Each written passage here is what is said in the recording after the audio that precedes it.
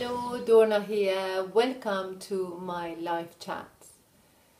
Today I'm going to talk to you about a way, a really, really fantastic way to deal with your negative thoughts. Now, I don't know what you do when you're walking around and suddenly it hits you. A really stressful thoughts come in and takes over your entire mental reality. What do you do then? Do you kind of try to push it away? Do you try to deny it, ignore it? What do you do? What do you do when it's the same stressful thought that keeps coming on and on and on every single day, few times a day? What do you do? And the reason I'm asking you, because I know that sometimes people take it as a fact of life, this is how it is, and they don't necessarily go on a on a detective mode to examine what to examine their mental structures, how their inner world is constructed that creates those stressful thoughts. And I don't know what you do. If you have a certain method, something that you've done that you'd like to um, share with us, please do in the comments.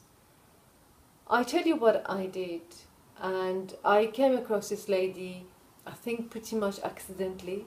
You probably know her. She's on the title, so you probably know who I'm going to talk about. It's Byron Katie who has devised this tool called The Work, which is four question and a turnaround. She asks you and invites you to write down your stressful thoughts and then to question one their validity how it makes you feel um, in the body where else the thought takes you to what other stressful thoughts and other stressful beliefs.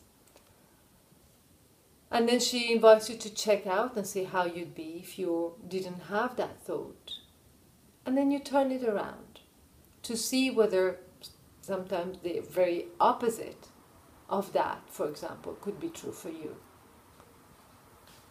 Now, I'll let you check her out on YouTube. There's a lot of um, videos, there's a lot of resources translated in many, many languages.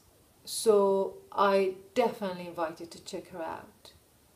She was a instrumental in my discovery of my own mental structure and my discovery of how innocently I would cause my own suffering. I did the work religiously for at least four years.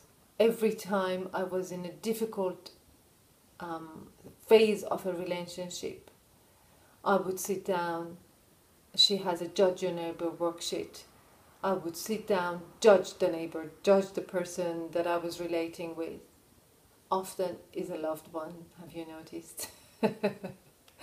and um, you do the work and no, I did the work. I did the work for four years and it truly helped me. It helped me integrate the world, the spiritual world, you know, the fantastic experiences of union and, you know, connectedness that we have with each other. And the real oneness of the, of the whole thing, the beauty of the whole thing. And then integrated that with a world where we are relating. And, you know, that's where a lot of stress coming for most of us. And as Matt said, and he wrote a blog about it, we do not get enlightened alone.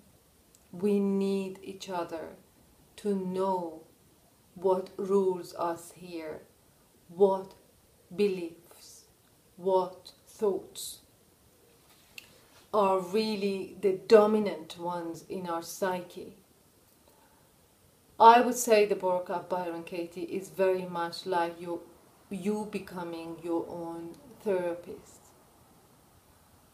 But, and from now on, I'm going to talk as if you know a little bit about the work.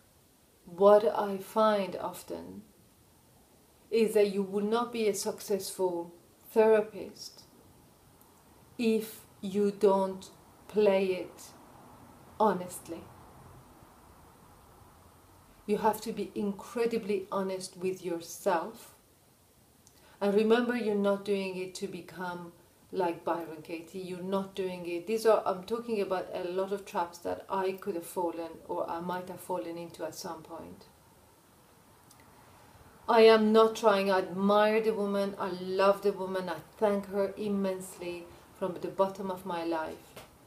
But I don't want to be like her. I don't want to be her. I'm happy to be me and I'm happy to discover who I am. In fact, if I was to be the one that is introducing the work of Byron Katie, I might not introduce it the way she does it. But I love that she has managed to reach so many people and introduce something that could work amazingly.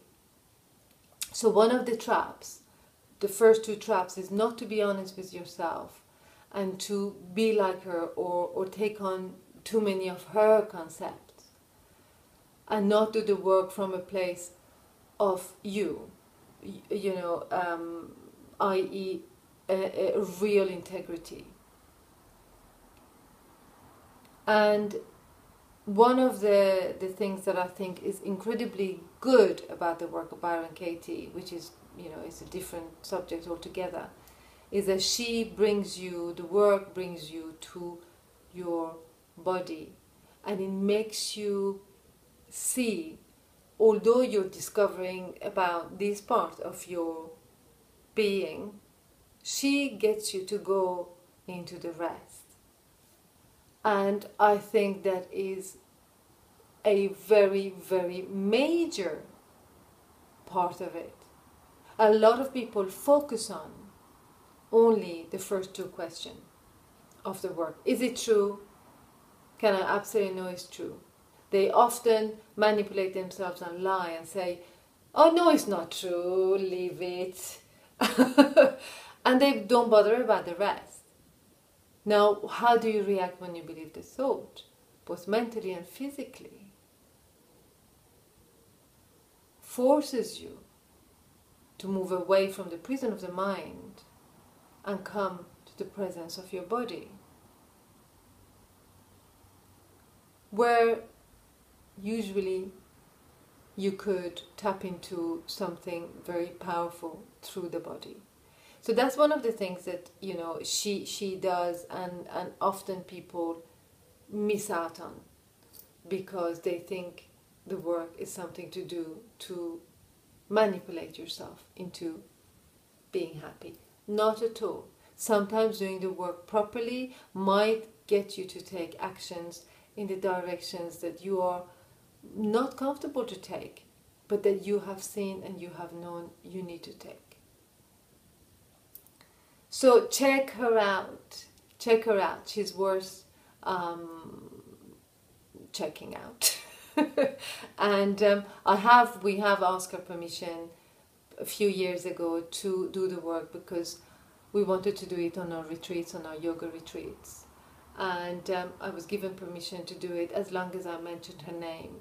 I have done it for many years. If you do it, you get stuck give us a call and um, we can always do it together. And um, I can answer any question that you have as much as I am capable. Otherwise, you can contact her directly. Thank you very much for watching and uh, see you next time.